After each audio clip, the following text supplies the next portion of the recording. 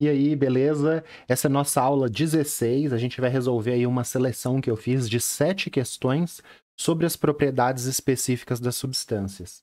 Essas sete questões, pessoal, a nossa seleção aí, né? São sete questões teste, sendo uma da Unicamp, que é difícil, vai ser a primeira que a gente vai fazer, uma da FUVEST e depois cinco do Enem.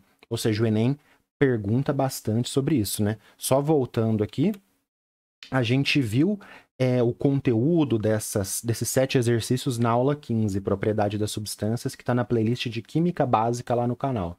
Se você não está inscrito ainda, se você não está acompanhando o canal, entra lá, vê as playlists de exercício, playlist de conteúdo, tenho certeza que vai te ajudar. Vamos lá?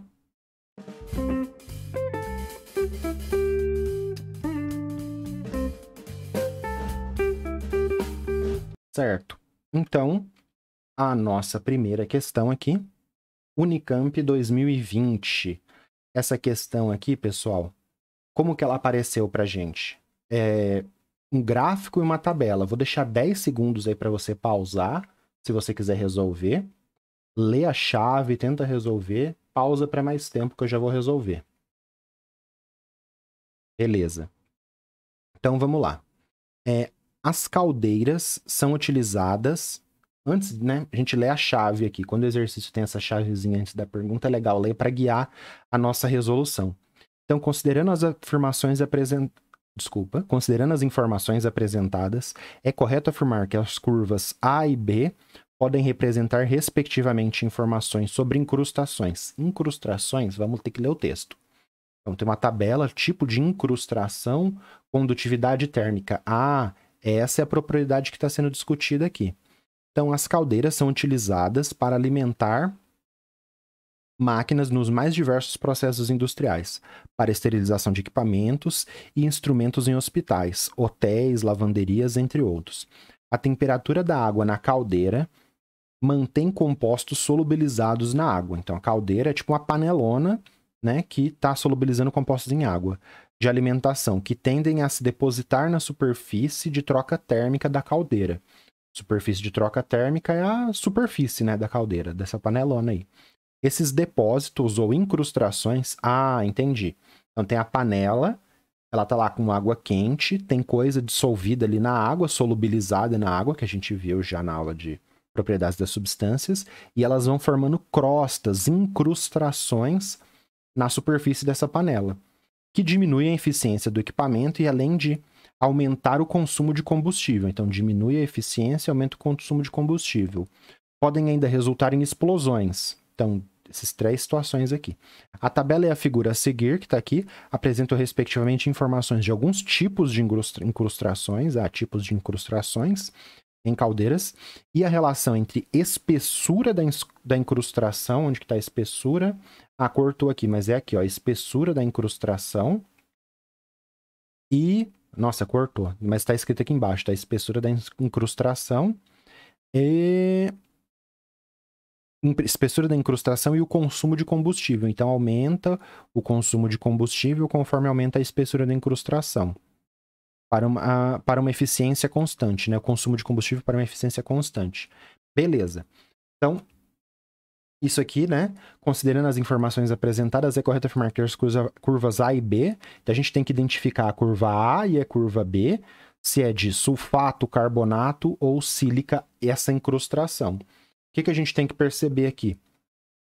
A condutividade térmica, né? Então, a incrustação de silício, ela conduz menos energia térmica, ela conduz menos energia térmica do que uma incrustação de sulfato. Beleza. As incrustações diminuem a eficiência do equipamento. Então, o que, que a gente tem que pensar? Que a panela, pessoal, ela. Vou tirar aqui antes que eu vou falar. A panela, ela tem que ter uma condutividade. A panela ou a caldeira, ela tem que ter uma condutividade térmica alta. O calor vai para a panela, vai para a caldeira e ela conduz, ela faz essa condutiva, o calor flui por ela. Se eu tiver uma incrustação com condutividade baixa, o que, que vai acontecer? Ela não vai conseguir, ela, o calor vai chegar na panela, vai ir, só que a incrustação não vai deixar esse calor fluir. Então, provavelmente a incrustação de sílica, por ter uma condutividade térmica baixa, vai atrapalhar a caldeira de funcionar como panela. Já a incrustação de sulfato também vai atrapalhar, só que ela tem uma condutividade térmica maior, então ela vai permitir conduzir um pouco mais o calor do fogo para a panela.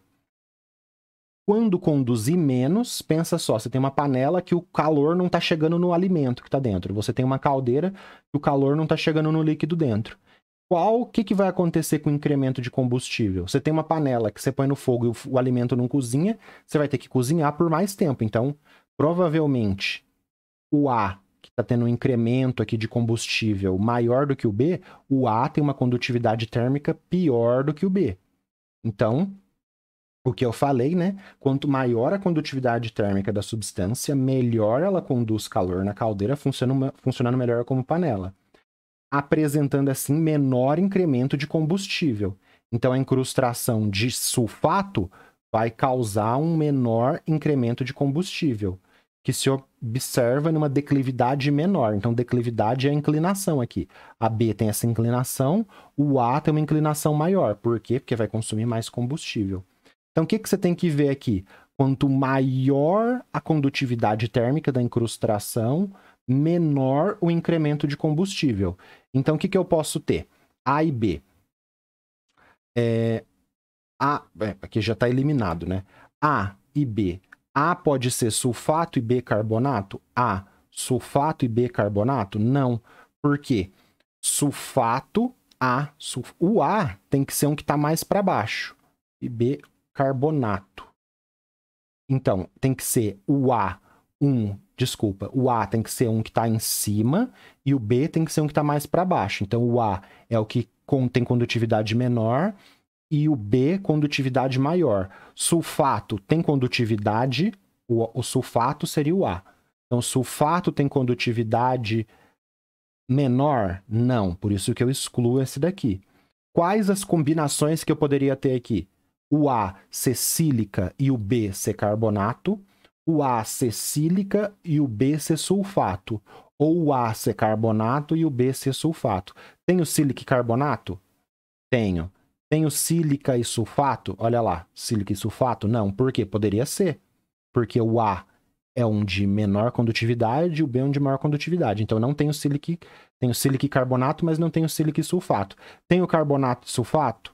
Não, tenho carbonato e sílica. Então as três opções que poderiam ser aqui A e B é sílica e carbonato, sílica e sulfato ou carbonato e sulfato. Dessas três opções que podem ser, somente sílica e carbonato foi disponível, por isso que é a C. Essa, pessoal, é uma questão aí é difícil, viu? Você viu que eu me embananei aqui na leitura tal, mas assim, você teria que ter a noção que a condutividade térmica é inversamente proporcional aqui, né? Tem uma relação inversa do consumo de combustível. Só 32% dos estudantes que fizeram essa questão acertaram. Então é uma questão difícil, beleza?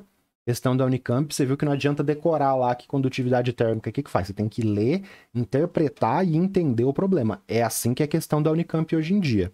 2020, 2024, sei lá, quando você estiver vendo esse vídeo no espaço-tempo, a questão da Unicamp é assim, não é só decorar uma propriedade da substância, não. Beleza, agora. É, o VEST 2015 aqui o Vest 2015. 10 segundos para você pausar, para você ter mais tempo, ler. Depois eu já vou resolver na sequência, tudo bem? Certo. De novo, vamos ler a chave. Os materiais utilizados na confecção de canecas, os quais apresentam as propriedades 1, 2 e 3, são respectivamente metal, plástico, louça. Ah, então tem que pensar no material e nas propriedades. Vamos ler o texto rapidão. Quando começaram a ser produzidos em larga escala, em meados do século XX, objetos de plástico eram considerados substitutos de qualidade inferior para objetos feitos de outros materiais, ou seja, o plástico era considerado inferior a outros materiais. Com o tempo, essa concepção mudou bastante. Por exemplo, canecas eram feitas de folha de Flandres, uma liga metálica. Então, as canecas eram de metal, né? Mas hoje também são feitas de louça ou de plástico. Então, metal, louça e plástico. Esses materiais podem apresentar vantagens e desvantagens na utilização de canecas. como os listadas a seguir, ah, que são as propriedades, né? Então, a propriedade 1, um, ter boa resistência a impactos, mas não poder ser levada diretamente ao fogo. 2. Pode ser ao diretamente ao fogo, mas está sujeita à corrosão. 3. Apresenta pouca reatividade química, mas ter pouca resistência a impactos. Tranquilo, né?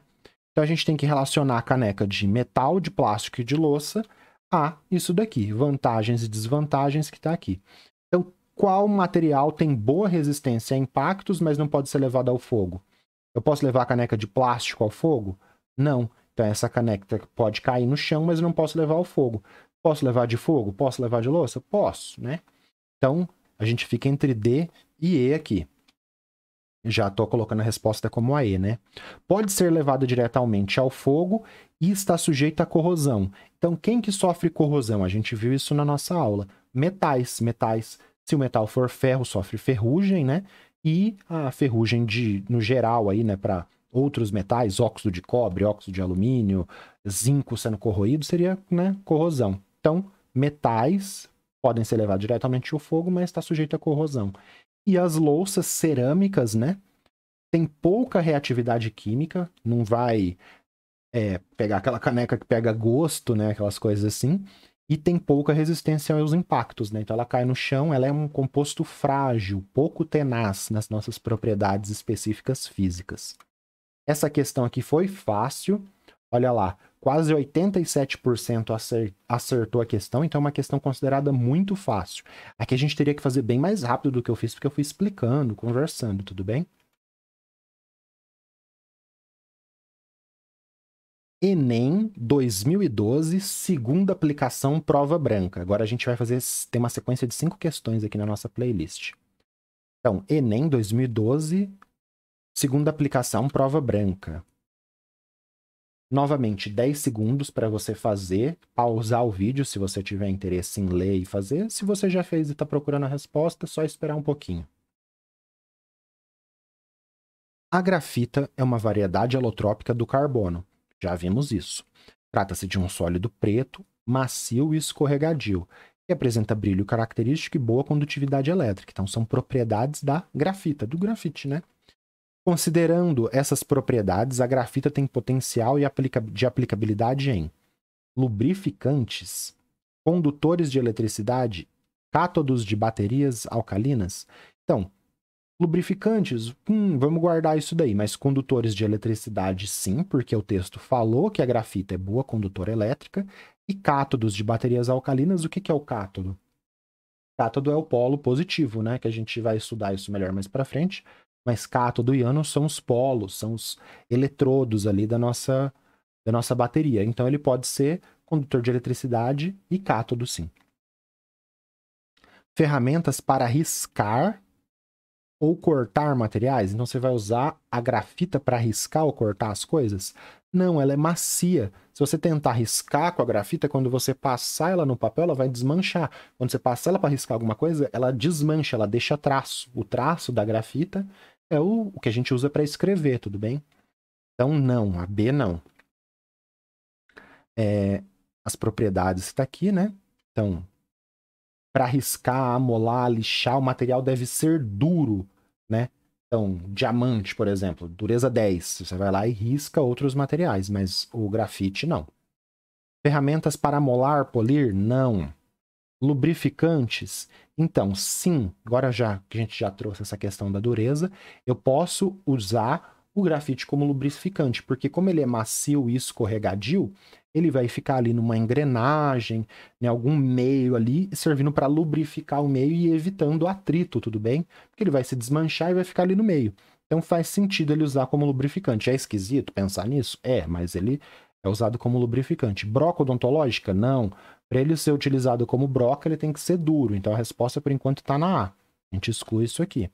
Então não pode riscar, não pode amolar, não pode ser broca, não pode ser broca. Ferramentas para riscar não pode ser. Então só sobrou a A. É, ou nanoestruturas capazes de transportar drogas com efeito. Então, até dá para fazer nanoestruturas capazes de transportar drogas com efeito radioterápico, né? O fulereno, nanotubo. Então a grafita, né, dá para você fazer isso aqui mesmo. A gente viu na aula de substâncias simples, substâncias compostas e alotropia, esses alótropos do carbono, tudo bem? Mas não dá para arriscar. Por isso que ficou na A. Eu não tenho a taxa de acerto, mas acho que o pessoal não teve muita dificuldade, talvez só por causa da questão dos lubrificantes aqui. Certo. Enem 2013, segunda aplicação, prova branca agora. 10 segundos aí para você pausar o vídeo, tentar ler a questão e resolver. Eu já vou responder na sequência.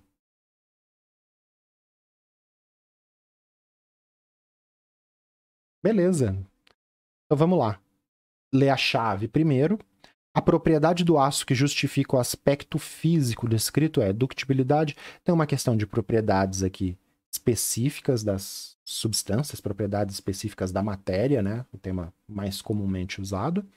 Então, a palha de aço é um material de baixo custo e vida útil pequena, utilizado para lavar louças, é um emaranhado de fios leves. Opa, fios leves e pequenos, que servem para remoção por atrito de resíduos aderidos aos objetos. Fios leves e pequenos, que propriedade do aço justifica isso? Ductibilidade? Sim, ductibilidade é a habilidade de formar fios. Maleabilidade? Não. Maleabilidade até, né, você pode se confundir com isso, mas a habilidade é tipo o clips, você dobrar, ser maleável, pegar uma, um pedaço de ouro, moldar e formar uma escultura. Então, por isso que é a, é a ductibilidade, né? A propriedade específica física da matéria, da substância, do caso dos metais, por exemplo, de formar fios, beleza? Agora, uma questão de 2016, terceira aplicação, prova branca. 10 segundos para você pausar o vídeo e ler. Lembra de começar lendo pela chave.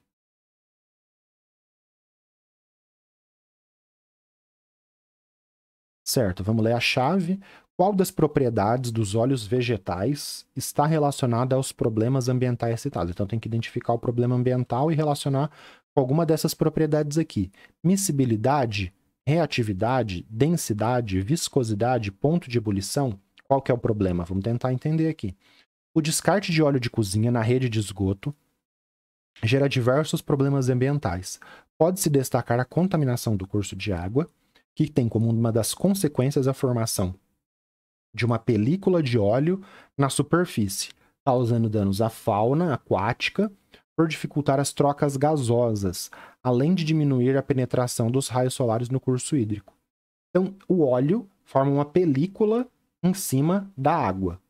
Ele formar uma película em cima da água, da, da água, da água, está relacionado à miscibilidade? Não. Miscibilidade é se o óleo é solúvel ou não na água. Então, o óleo ele não é solúvel na água, ele tem uma baixa miscibilidade em água, ele é insolúvel em água. Alta reatividade? Não. A água está lá, o óleo está em cima, não ocorreu uma reação química com formação de novas substâncias. Por isso que a gente não considera a letra B. Então, o óleo é menos denso que a água, ele fica sob a água. Então, é a baixa densidade do óleo em relação à água. Se tivesse falado assim, baixa densidade da água em relação ao óleo, estava errado. O óleo é menos denso e fica sob a água.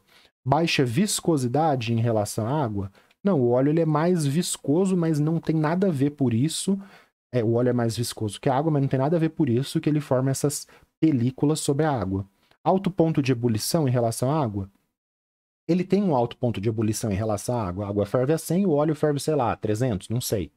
Só que não é por causa disso que está causando os impactos. Então pode estar tá falando uma coisa certa, só que não tem a ver com o problema ambiental citado. Por isso que você marca C. Beleza?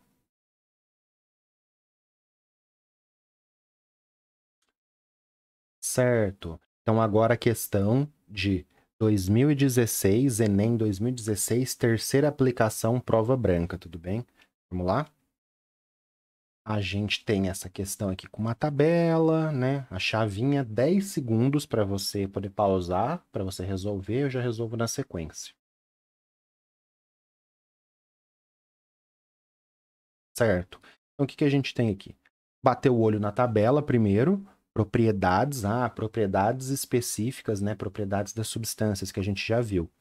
Diesel, biodiesel, óleo vegetal, densidade, calores, poder calorífico, né, que é a energia liberada aí na queima, viscosidade, teor de enxofre. Vamos ler a chave rapidinho.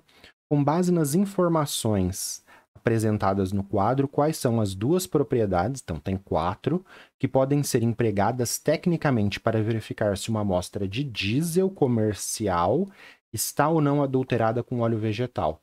Então, diesel, que, quais propriedades eu posso usar para ver se o diesel comercial não está adulterada com óleo vegetal? Vamos ler o texto, né? Tem uma cortadinha aqui para colocar o logo do Enem 2016. Combustíveis automotivos têm sido adulterados pela adição de substâncias ou materiais de baixo valor comercial. Então, você vai adulterar colocando alguma coisa que é mais barata, né? Não vai adulterar colocando uma coisa que é mais cara. Esse tipo de contravenção pode danificar os motores, aumentar o consumo de combustível e prejudicar o meio ambiente. Ou seja, é tudo ruim para você, só é bom para quem adulterou, né? Vários testes laboratoriais podem ser utilizados para identificar se, uma, se um combustível está ou não adulterado. A legislação brasileira estabelece que o diesel obtido do petróleo, então o diesel obtido do petróleo, contenha certa quantidade de biodiesel, ou seja, no Brasil você tem lá 5% ah, de diesel, é, 10%, não sei, mas você tem uma quantidade de biodiesel misturado no diesel para formar o quê? O diesel comercial. O quadro apresenta valores de quatro propriedades do diesel, biodiesel e óleo vegetal, um material comumente utilizado como adulterante. Então, eles usam óleo vegetal para adulterar. Só uma observação aqui: quando é, teve muito uso, começou é, é, esse uso muito grande do biodiesel, a gente viu o ônibus passando assim, escrito bem grande. Eu sou de Campinas, acontecia isso. Estava escrito no ônibus: movido a biodiesel. Só que ele não era movido a biodiesel, ele era movido a diesel com adição de biodiesel. E tinha, sei lá, 5%, 3% de biodiesel, tudo bem? Então eles escreviam lá, movido a biodiesel, só para fazer propaganda, mas na verdade era a grande quantidade de diesel. Só um, uma curiosidade aí. Então, beleza. Com base nas informações do quadro, quais duas propriedades podem ser utilizadas para adulterar o diesel comercial. O que, que você tem que perceber aqui? Material utilizado como adulterante. Amostra de diesel comercial. O diesel comercial, pessoal, é diesel, igual eu estava contando a história, enganada é por acaso, né? O diesel, você vai lembrar disso agora. Você vai ver uma coisa escrita movido a biodiesel, você sabe que é mentira. É movido a diesel com adição de biodiesel. Então, o diesel com adição de biodiesel forma esse diesel comercial que é utilizado. E o óleo vegetal é utilizado como adulterante, ou de uma parte do diesel, ou de uma parte do biodiesel, ou como, sei lá, um pouco dos dois. Quais propriedades que a gente vai utilizar? A gente vai selecionar aquelas propriedades que o adulterante difere mais do diesel comercial, do diesel ou do biodiesel que formam o diesel comercial aí. Então, olha só a densidade. Se eu colocar o óleo vegetal para adulterar, a densidade vai subir, porque o óleo vegetal tem uma densidade maior do que os constituintes aí, tudo bem? Então, ele, se, ele, se você colocar ele no lugar do biodiesel, altera. Se você colocar ele no, diesel, no lugar do diesel, altera também. Porque eles têm valor muitos, muito superior aqui de densidade, então vai ser a densidade pode ser utilizada. Já o poder calorífico, a, existe uma média aqui, né? do diesel com o biodiesel é bem mais próxima do diesel. O diesel comercial vai ter um poder calorífico, todas essas propriedades. Isso aqui você teria que meio que ter uma noção, né? Todas as propriedades do diesel comercial, elas são mais próximas da do diesel do que da do biodiesel. Então, se você adulterar com óleo vegetal, ele vai dar uma baixadinha, só que você não vai saber se foi essa baixadinha por causa do biodiesel ou por causa do óleo vegetal, porque é tudo muito parecido, tudo bem? Então lembra, né? esse diesel aí com biodiesel, a maior parte é diesel. Se tiver. Não falou isso, mas é uma coisa que ia ajudar você a resolver. E a viscosidade? Pô, a viscosidade com certeza, né? Ele é 37 comparado com 4 e com 5 aqui quase, né? Então é muito, vai, muito maior. Por isso que a densidade e a viscosidade a gente vai chegar na alternativa A, tudo bem? E o teor de enxofre? Ah, Poderia ser o teor de enxofre, Gabriel, porque o teor de enxofre do óleo vegetal é bem diferente do diesel. Sim, se o cara em vez poderia, você poderia chegar e marcar aqui viscosidade e teor de enxofre, porque é viscosidade, né, e o teor de enxofre. Só que ele teria que substituir todo, ele teria que substituir todo o diesel por óleo vegetal, tudo bem? Porque se você está utilizando uma coisa lá na bomba, lá no, no posto, que é só biodiesel, aí fica muito difícil de comparar, porque eles são muito semelhantes. Só que teria que. Ele ter. É, desculpa. Se fosse só biodiesel, só que o que tem lá é o diesel comercial, é uma mistura disso daqui. Então você até poderia pensar que poderia ser o teor de enxofre. Tudo bem? Só que é um valor próximo, entendeu? Não é igual o que vai acontecer com a densidade, igual vai acontecer com a viscosidade. Mas dá para gerar essa dúvida aí. Tudo bem? Então, por isso a gente marca A, né? Densidade e viscosidade apresenta maior diferença relativa com o diesel e biodiesel, logo são melhores para verificar a adulteração. Cuidado isso com o teor de enxofre, tá bom?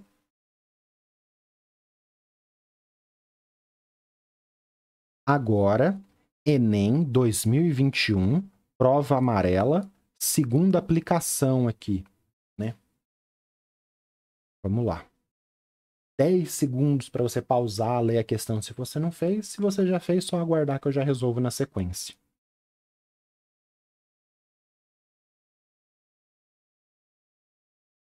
Considerando recipientes de mesma espessura, tá, ele está falando de recipientes, qual material recomendado para manter o alimento aquecido por um maior intervalo de tempo? Condutividade térmica. Hum, essa é uma questão que você pode responder tanto pela física, de forma bem mais aprofundada, né? É, com as equações de condutividade, fluxo de energia térmica, ou pela química com a noção mais das propriedades ali das substâncias, né? Então, materiais, condutividade térmica. Nem precisava ler o texto aqui, porque ele está falando de material, manter aquecido, a gente só analisa aqui, mas vou ler para a gente ver se não tem nenhuma pegadinha no texto.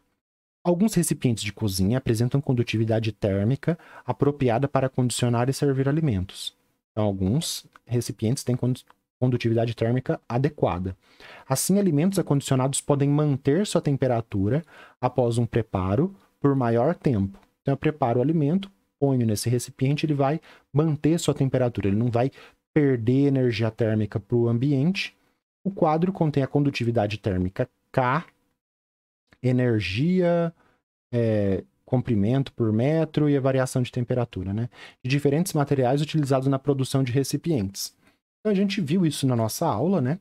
Então, qual material é recomendado para manter o alimento aquecido? O que, que a gente tem que pensar? Quanto maior a condutividade térmica, maior a capacidade dele de conduzir energia térmica, calor.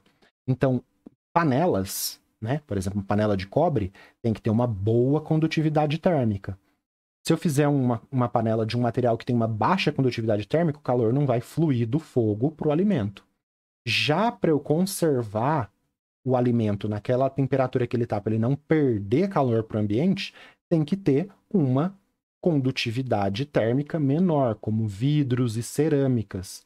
Então, qual, qual o melhor material aqui para servir para acondicionar, né, para acondicionar o alimento e ele não perder energia térmica para o meio? Cerâmica, porque a cerâmica é um isolante térmico, ele tem baixa condutividade térmica e mantém energia térmica evitando variação de temperatura. Lembrando por que, que o alimento varia a temperatura? Que ele vai perder energia para o meio, energia térmica. Por isso você marca E. Acho que o pessoal não teve muita dificuldade para fazer essa, pensando né, na condutividade, armazenamento, panela. Beleza?